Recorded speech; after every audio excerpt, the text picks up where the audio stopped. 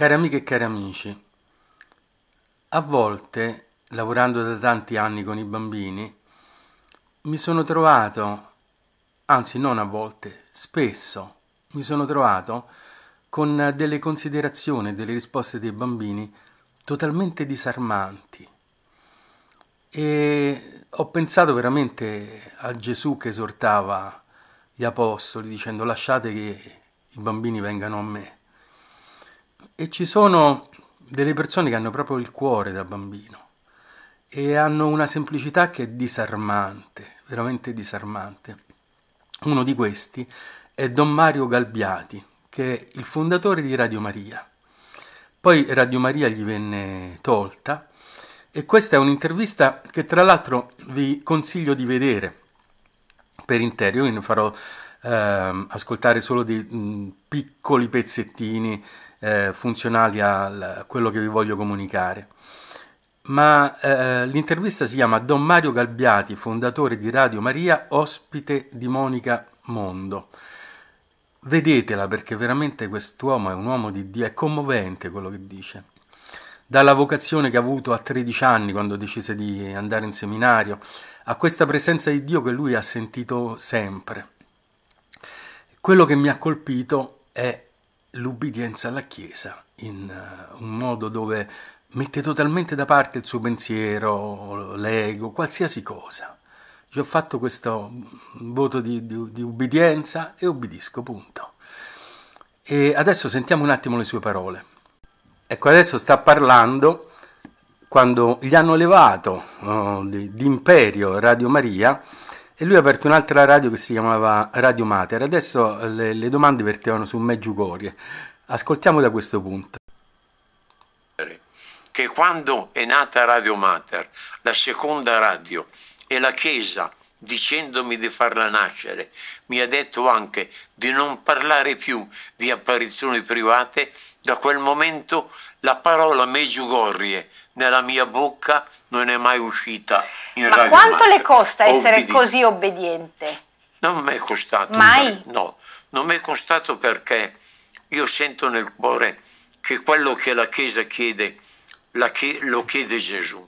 Perché la Chiesa non è una realtà privata, c'è perché l'ha voluta Gesù. Perciò quando il cuore è veramente aperto a Dio, anche quando arriva dalla Chiesa qualche invito o addirittura qualche comando a comportarsi in una certa maniera, diventa una realtà di vita. Senta, E padre- ho sentito così. Mi aiuti a capire, al di là della radio, tante volte la Chiesa ci sembra che sia indietro o che non riusciamo proprio a capirla e non riusciamo proprio a essere d'accordo, spesso anche con i papi, ci piacciono, non ci piacciono, ricordi le critiche a Giovanni Paolo II, a Benedetto, adesso Papa Francesco, cioè non è che proprio la Chiesa sempre, sempre, sempre ha ragione. Sì, questo sì perché la Chiesa è fatta da uomini, i quali insieme alla grazia di Dio che cerca di farli agire cristianamente secondo Gesù, nella sua parte umana anche magari questi tempi di attesa, questo non comprendere immediatamente, oppure vuol provare anche l'ubbidienza di chi veramente vuol sentire la Chiesa come Gesù che continua la sua missione. Però non ho voluto pensare a queste cose, ma ho fatto questo invito, l'ho fatto mio e in Radio Mater non si è più pronunciata la parola Meggiugorie, non perché non lo senta più. Se è vera apparizione lo dirà la Chiesa. Siamo in attesa, quindi più la Chiesa davvero più presto parlerà e grazie Chiesa che ci darai la tua indicazione. Ma Ecco, cari amiche e cari amici, quest'uomo, se voi andrete a vedere questa intervista, è evidente che è un uomo pieno di Dio, anche se all'interno della Chiesa bergogliana e quindi sicuramente farà la comunione con Bergoglio. Ma chi se la sente di dire che quest'uomo andrà all'inferno? Ma andate a vederla questa intervista. Si vede che è un uomo di Dio, di una semplicità che è strabiliante. E io lo ammiro. Lui ha questa posizione, lo dice la Chiesa, punto. io mi sono affidato da quando stavo in seminario, da quando avevo 13 anni, mi sono affidato a, a, a, Dio e a Gesù che riconosco nella Chiesa come presenza. Quindi qualsiasi cosa mi dice di fare la Chiesa, io ubbidisco. Anche se penso il, mm, il contrario a volte, se no, io lo accetto per ubbidienza. Ubbidisco perché riconosco la presenza di Gesù. Nella Chiesa non è un fattore umano. Don Minutella ha una posizione opposta. E Don Minutella per me è un uomo di Dio. E allora qui già sento chi potrebbe dire ah ma no però teologicamente ah, Bergoglio il diavolo chi fa comunione con Bergoglio il diavolo se... quello che volete ma a volte io credo che se si guardasse proprio agli uomini con le loro fragilità con le loro eh, debolezze. E al loro cuore come invece come, come cenacolo di Dio che dimora in tutti gli uomini c'è questa eh, presenza. E quindi come si fa a condannare persone in buona fede? Don Minutella, io sono convintissimo che è in buona fede. L'ho difeso e lo ridifenderei se lui avesse bisogno di me, nonostante anche questo attacco che mi ha fatto, ma io l'ho, l'ho perdonato già mentre lo sentivo questo attacco. Ne sono rimasto dispiaciuto, questo sì. Però Mm, insomma, si, il, momento è tanto grave che non ci si può attaccare a queste stupidaggini, no? E così quest'uomo, Don Mario Galbiati, che è ubbidienza alla Chiesa fino all'ultimo, costi quel che costi. Mi spaventano le voci integraliste, quello sì, e mi spaventano sia nella Chiesa bergogliana sia nel piccolo resto eh, l'integralismo è qualcosa da bandire. Quindi se qualcuno è convinto che Don Mario Galbiati andrà all'inferno perché eh, ha deciso di ubbidire ciecamente alla Chiesa, per me sbaglia.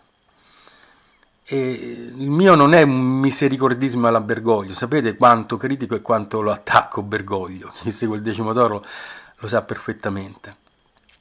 Però al di là di tutto ci sono gli uomini, ci sono le, le, le, le singole situazioni e le singole vocazioni. Per cui eh, Don Mario Galbiati ha quel tipo di vocazione e, e, per me bisogna vedere quello che è la parte bella di Don Mario Galbiati. Non bisogna vedere eh, il fatto che faccia la comunione con Bergoglio. Di Don Minutella è un'altra manifestazione del, di, di Dio, di vedere come a volte Dio si manifesta nel coraggio, nell'avere il coraggio di affermare le, le, le, la, la, la, propria convinzione e, la, e la, verità, quello che una persona crede di, di essere vero. No? E, quella di Viganò è un'altra espressione ancora del divino. Allora, però nessuno può pretendere dall'altro, è sbagliato dire ma perché eh, Don Viganò ad esempio non viene con noi, no? Uh, oppure uh, perché Don Mario Galbiati uh, segue Bergoglio. Io le vedo tutte come espressioni del divino che si manifesta nei vari uomini e donne in buona fede alla ricerca. E e sono convinto che Dio eh, guiderà ciascuno. Eh, guiderà ciascuno eh, con, verso il regno dei cieli e a fare l'esperienza del regno dei cieli. E al di là del chiamarsi Don Mario Galbati e seguire Bergoglio, al di là del chiamarsi Don Minutella ed avere due scomuniche, e al di là di fare la vita come un gangster nascosto di Monsignor Viganò. Quindi spero che non fraintendiate, perché qui ormai non, non si può parlare più.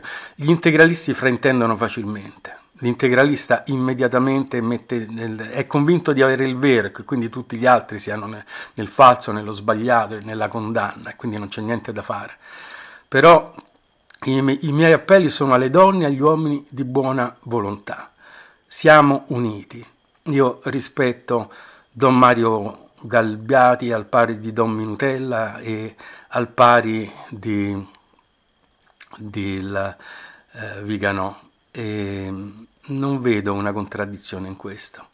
Vedo, non lo so, una serie di manifestazioni del divino. E poi c'è la parte umana, ma la parte umana, ecco, chi è senza peccato scagli la prima pietra.